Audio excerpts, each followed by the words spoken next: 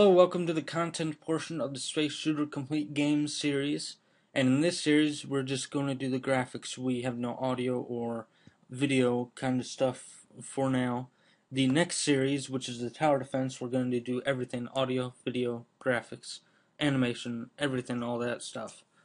So for this tutorial, we're just going to do three graphics the player sprite, the enemy sprite, and the bullet sprite. The player sprite is going to take the longest because we need to trace a drawing I made. The enemy sprite is just going to be very simple. It's just going to be like a half circle with some effects added to it, and then a little triangle to you do the turret. And then the bullet will be just a standard box with some pixel effects added to it. So as you're watching the video, you should have a zip file, and if you're watching this on YouTube, the zip file will be added to the first initial video. I'm going to do the series first and then do an introduction video. The introduction video needs to be watched before this video and before the first development video. Since I can't really say anything in the introduction video until I get everything all finished off, so hopefully things all get sorted out. And then you'll have two zip folders, one for this the resources and the other one for the whole thing. That will not be for YouTube members, but for the other members on the website, they'll download the zip file, or maybe I'll do an ISO disk image, and that will contain every video, every resource, and every project. So the resources zip file will have an image and a PSD. These are for the graphics. So in the images, we only have one drawing, and that's the ship drawing. So we need to convert that into the sprite by tracing it, and I'm going to use Photoshop for this. So if we open up Photoshop, uh, let's do open. Uh, let's cancel that. We need to do, we just simply drag and drop. So drag the ship image inside Photoshop, and then it's in there as well. And I lost the original, so this one's kind of crappy. As you see, the turret is halfway done on the tip. So we need to do more stuff to this, but we can get there. And as you can see, it's very large. It's a good idea to work in images is very large, and then convert it to lower size when you're done, and then do more stuff if you need it. That way, you get all the additional cool effects you get when you're doing it in very large and it scales down. If you do it in smaller amount and find out, hey, I need it a lot bigger, you'll get all the uh, artifacting and pixel. It'll just look weird when you scale it up from a small scale rather than scale it down from large scale. So we need to actually convert this to the sprite. As you can see, it's hand drawn, and we can do all the sorts of effects where we have a little slight curve here and then we can actually do that in the design but I'm going to just do this quickly since it's the first design video. I don't want to complicate things too much. So I'm just going to do this all quickly and this might not be complete full circle. And good thing to know is if you have a ship or anything that has the same thing on both sides you can only you should only do half of the image because that way when you get to the other half, it'll be completely symmetric. So let's go to the background, double click that to unlock it.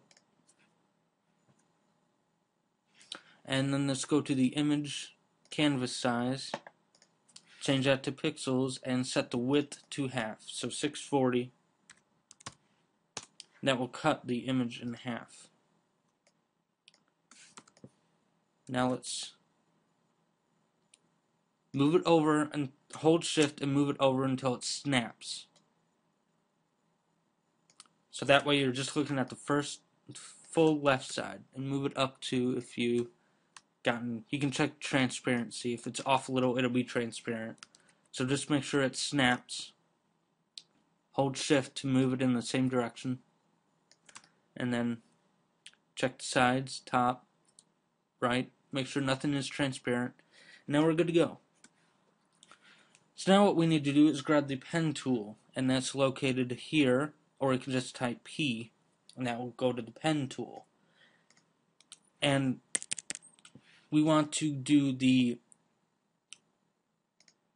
first option, and that's a shape layer, and the color, the color doesn't really matter at this point, we can change it later on, but I'm going to do the light blue, sort of like right here, alright, and go to layer, new layer, or you can do the shortcut, and let's call it uh, wing. Since we just want to do the whole this big trace right now which is just the wing. And then we'll go into the center and then we'll go into the turret so right now we just need to focus on the wing so I'm going to start at the bottom this little point right here now we're still on the paths the first option, the shape layer, and we have a color as blue. We have a new layer called wing, and now let's start by clicking on this point right here. The farthest point at the bottom. Now we move up and just do this in small increments. You can do this in a lot smaller increments than me. I'm just doing this as a quick guide for now. And then just click anywhere up there and make it as close as possible. Remember, this is going to be very large, so we don't need to do any hardcore stuff right now. Now, if you're using a different graphics tool, I'm I apologize, I won't be able to help you out too much, but if you're using Photoshop and this is your first time using pen tool, you might notice that you have these this long straight line, and if you click somewhere else, it does another curve. Now to get around that, you hold Alt or Option on the Mac, Alt on Windows, and click the center of that line, which is the point you added. So now if you click another point, it just does it straight. So that gets rid of the curving. So now we can do our custom curve right here. Now I'm going to choose one up here, click and hold, then we can do more stuff here, getting it just as close as possible. Alt, click the center, go up again. Let's choose this point right here, as close as possible.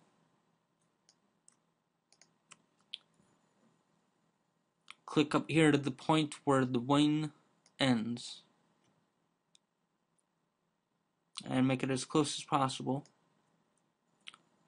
Alt and now here's where it gets a little tricky. We just change the opacity of this layer, the wing layer, down a bit. So that way we can see the black line. Alright.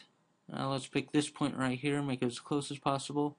You can make it as, uh, you can change it up here if you want as well, to make it a little bit more drastic type of wing. And go back down to here at this point. Make it as close as possible.